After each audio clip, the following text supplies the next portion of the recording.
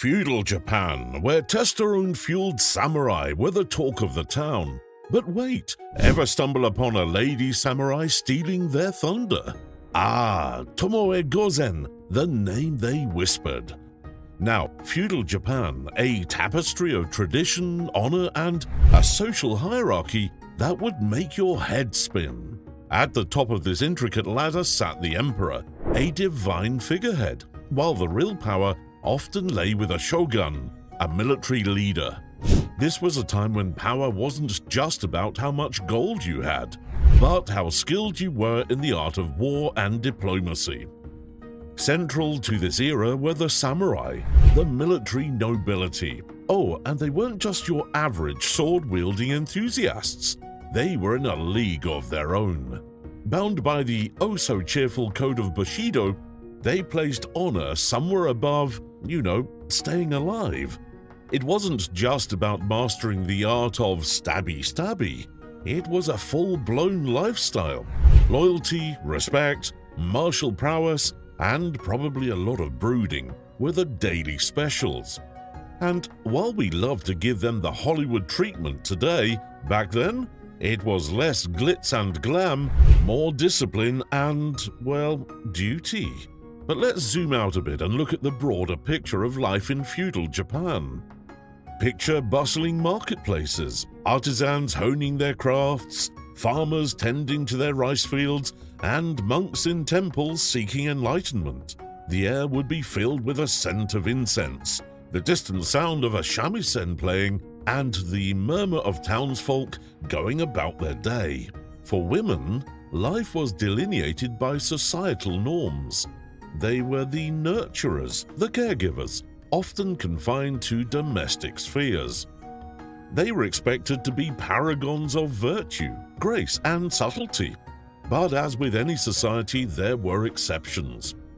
Every so often, a woman would defy these norms, not by rebelling without a cause, but by embracing roles traditionally reserved for men.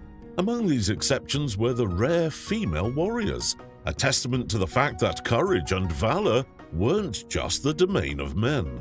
These women, though few, carved a niche for themselves in legends and historical records, and shining brightly among them was Tomoe Gozen, a name that would resonate through the annals of history. In essence, feudal Japan was a realm of contrasts, a world where tradition met change, where the old coexisted with the new, and where every individual man or woman had a role to play in the grand theatre of life.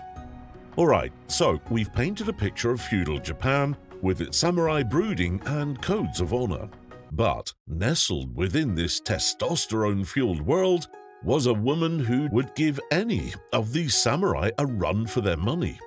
Enter Tomoe Gozen, the samurai world's answer to Who Run the World? Girls. Born into the high octane world of warrior families, Tomoe wasn't playing with dolls, she was probably disarming them. From a young age, she was thrown into the deep end of martial arts, archery, and horseback riding. And let's be real, while most kids were learning the ABCs, Tomoe was mastering the art of slicing, dicing, and riding into the sunset. Now, being a woman in this world wasn't a walk in the park. Imagine trying to break the glass ceiling, but the ceiling is made of swords and societal expectations. Every step of the way, she had to prove herself twice as hard, facing side eyes from those who believed the battlefield was no place for a woman. But Tomoe, she thrived on challenges. Amidst all this, she caught the eye of Minamoto no Yoshinaka, a general who was kind of a big deal. Their relationship it was the stuff of legends. Some say she was his first captain, others whisper of a romance. But one thing's for sure together, they were a force to be reckoned with. So, while feudal Japan was busy with its samurai politics and codes, Tomoe Gozen was carving out a name for herself, showing that it wasn't just a man's world. And trust me, this is just the beginning of her tale. From the tales of her early life, we've established that Tomoe Gozen wasn't just any woman of her time. But when the drums of war sounded, how did she stand out amidst the clang of swords and the cries of warriors? The Genpei War, a tumultuous era in Japan, saw the Taira and Minamoto clans locking horns in a power struggle. Think of it as the ultimate family feud, but instead of passive-aggressive comments, there were arrows and blades. And right in the heart of this chaos was our heroine, Tomoe, now, the Battle of Awazu wasn't just another day at the office for Tomoe. While some of us get overwhelmed by a tricky spreadsheet, she was out there facing and besting seasoned warriors. And she wasn't just swinging her weapon around wildly. Tomoe's style was a blend of raw power and finesse. She wielded her naginata, a weapon that's like the love child of a spear and a sword, with unmatched skill. Each strike was calculated, each parry timed to perfection. It was said that she could ride through a sea of enemies, her naginata dancing like a deadly whirlwind, cutting down foes before they even realized they were in danger. Eyewitnesses, probably those lucky enough to survive her onslaught, recounted tales of her valor. They spoke of her riding down archers, deflecting arrows, and engaging on one-on-one combat with the best of the Taira warriors. And she didn't just rely on her naginata. Tomoe was adept at archery, with arrows that found their mark with deadly precision. On horseback, she was a force of nature, charging into enemy lines, causing disarray and emerging unscathed. Historical records, typically reserved in their praise, couldn't help but acknowledge her prowess, in a world dominated by male warriors, Tomoe's name was spoken with respect and, let's admit it, a bit of fear. But legends often come with their share of mysteries. After her spectacular feats at Awazu, Tomoe seemed to fade from the battlefield. Some say she was ordered to retreat, as Minamoto no Yoshinaka, her possible lover, couldn't bear the thought of her falling.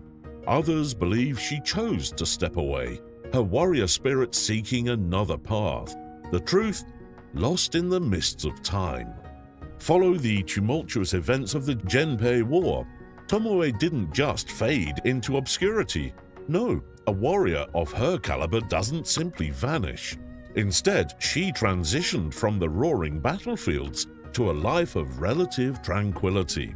Historical records indicate that Tomoe, after her days of slicing through enemies, chose the path of spirituality.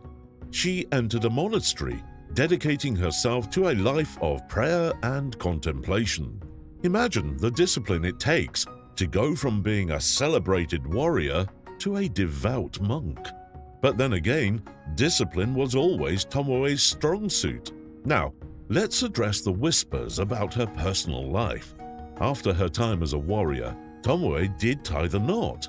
The man in question a local bigwig with whom she settled down. While the records aren't brimming with romantic tales of their life together, it's safe to say that he must have been someone special to catch the eye of such a formidable woman. Tomoe's legacy is etched in more than just history books. She became a beacon of inspiration for poets and storytellers. Numerous poems and tales were crafted in her honor painting her as a figure of bravery, grace, and unmatched skill. These weren't just casual mentions, they were elaborate narratives celebrating her life and adventures. The challenge with figures like Tomoe is separating the person from the legend. But here's the thing with Tomoe, the person was the legend. Every tale, every poem, every historical mention only solidifies her place as one of the most iconic figures in Japanese history. Feudal Japan, while often painted with a brush of strict traditions and rigid gender roles, had its fair share of female warriors or, or onna bugeisha. These women weren't just playing dress-up, they were trained in the art of war, mastering weapons like the naginata and the kaiken, and while Tomoe might be the poster child for badassery, she had company. Cultural factors played a significant role in this. In times of war and unrest, When men were off battling and the homestead was under threat, women stepped up. Now, let's talk comparisons. While Tomoe's exploits in the Genpei War are the stuff of legends, other female warriors had their moments in the sun. Take Nakano Takiko, for instance, who led an all-female unit during the Boshin War. Or Hojo Masako, a nun turned political leader who played a pivotal role in the early days of the Kamakura shogunate. Each of these women, in their own right, carved out a space in a male-dominated world, challenging perceptions and rewriting the narrative. So, next time someone mentions samurai, remember it wasn't just a boys' club. Tomoe and her fierce sisters-in-arms made sure of that. They didn't just break the mold, they shattered it. Cheers to the unsung heroines of feudal Japan.